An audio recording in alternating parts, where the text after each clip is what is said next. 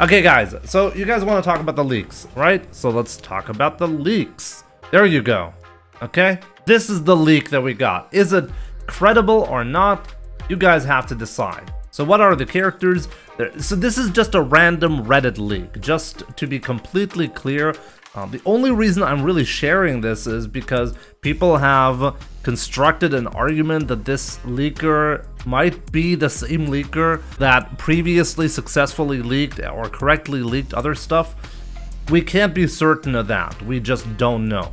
Uh, but, I mean, we don't really have a lot of content or new news regarding Street Fighter 6 right now, so let's just entertain the idea that this might be real. Hopefully not. The characters are Bison, Vega, Sakura, Rainbow Mika, Elena, and a new male character. So it's gonna be six characters, which is, by the way, exactly what, what I would have uh, thought. Um, the only reason we only got four DLC characters uh, in Season 1 was because Capcom made the decision to not have 16 starting characters, but instead 18.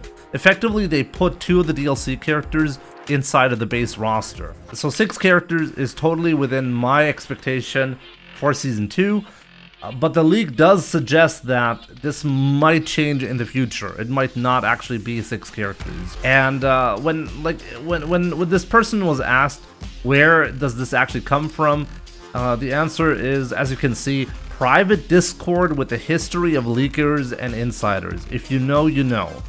That doesn't inspire a lot of confidence, I have to say. But then there are some real specifics around the characters, which is interesting. So, so supposedly, there was a concept art with all six characters last month. Sakura has long hair resembling uh, Hokuto from uh, the EX series. Uh, Bison is older, unkept, whatever that's supposed to mean, and with a cape, and what looks like scars or veins on his skin. Uh, Vega is back to brown hair, Elena and Mika are less naked. Uh, this is totally in line with the philosophy for Street Fighter 6. Any character that was very revealing in Street Fighter 6 has been toned down. Honestly, I don't think Yoga Pants for Cammy is very much toned down. I'm, I'm all for it, okay?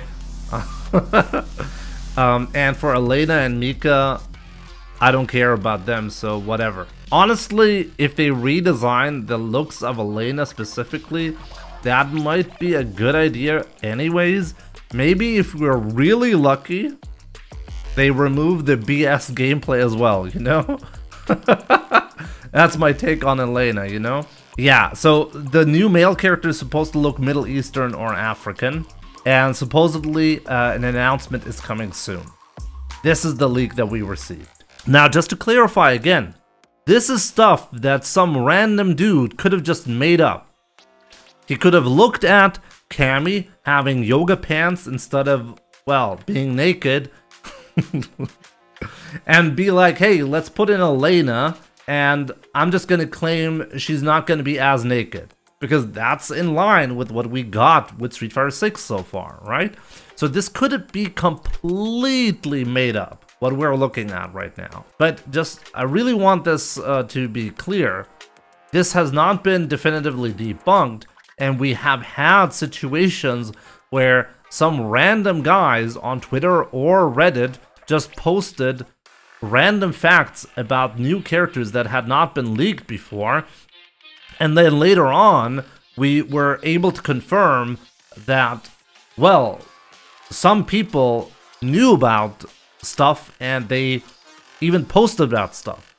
Uh, like, uh, for example, the E Honda and Lucia leak and Poison, right? Those characters, when they came out, that was leaked on Twitter, but nobody paid attention because nobody understood the references uh, until the, um, well, the characters were revealed. Maybe it's the same thing, you know? This is just a random post after all. We don't really know. But what we do know is that nothing is definitive. And what I see here this is plausible to me. I can, I can see a, a universe where Capcom releases this exact roster as Season 2. I can see that. Exactly, they didn't ignore Nash dying, they rode around it. Right, Valchronification, you're absolutely right about that. if there's one thing that Capcom has proven that they can do, like, are you telling me that Bison, according to the lore, there's no possibility for him to return as a character because he died? M. Bison, the Psycho Power guy who's like able to do whatever he wants to do and like a thousand I can think of a thousand ways they can bring back M. Bison and would totally make sense. You're telling me, especially M. Bison, he's especially easy to take back. Ah, whatever. By the way, I've said this since day one of Street Fighter 6. I would be shocked if M. Bison doesn't make a return. Oh, did he? Like, honestly, I'm not a lore guy. Okay, I'm not really a lore guy, but Bison has already died multiple times? Well then, like, how are people even considering that as an argument? I don't get it. I can see the leak be true, but I can also see the leak, by the way, like, I really want to, to emphasize this, like, I, I'm not putting myself on either side. I'm just presenting information that has been brought to my attention, and we'll see what happens, you know? I can totally see the leak, and in fact, I think it's more likely for the leak to not end up being correct. I think when it comes to leaks that are not, um, well, confirmable, it's always more likely for for the leak to just be made up. Who knows, you know? I'm not quite sure if this is going to be real or not. Uh, as I said, if it wasn't for this long, like, like we haven't had any real news for quite some time. And I'm excited to discuss any new information regarding Street Fighter 6 at this point. It's a bit unfortunate that this is also a leak, uh, since the main reason why we didn't actually get a lot of excitement uh, in Season 1 was because all the characters got leaked in Season 1, which was a real bummer in my opinion. I, I really think this hurt the game, even though the sales are fine and the, the playtime and everything is fine, I think it honestly hurt the game um, quite a bit. So hopefully the leak is not correct, but if it is correct, at least now we have something to talk about, right? What do you guys think? All of the details, by the way, around the characters, Elena and Mika being less naked, just as an example, those are definitely in line with what they're doing in Street Fighter 6. So, in my opinion, I didn't see any, like, anything that is obviously wrong. This is obviously fake to me. I, I would love to hear, like, so chat is currently saying it's it's fake. Uh, and I've, I've seen a lot of uh, like suggestions that this is probably fake. But I could see a season 2 with these characters. They should reveal the characters once they announce the season pass. Who would buy without knowing? Everybody buys without knowing. Be I can tell you why. Like this this argument has never made any sense to me by the way. If you are not interested in buying all the characters, Okay, so if you're not interested in having a full cast, then you're gonna buy each character individually that you're interested anyways, right? So a season pass doesn't actually make a lot of sense to you.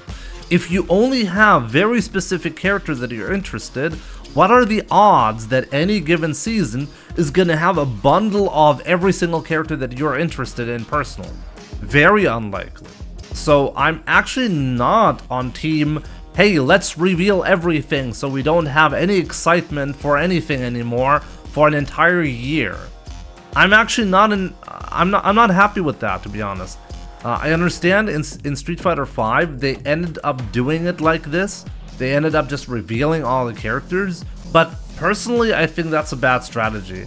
I kinda hope the revealed characters are just wrong, and we're not gonna get the entire season leak, but instead get silhouettes and just like tease stuff bit by bit. Um, I honestly think it's the better route. But yeah, let me let me know. What do you guys think? Is this fake? Is the leak fake? Uh, is it not fake? Uh, what do you think of the characters? What do you think of the supposed changes to Elena and Mika, making them less naked? And in all thoughts, as usual, if you're watching this on YouTube, below in the comments.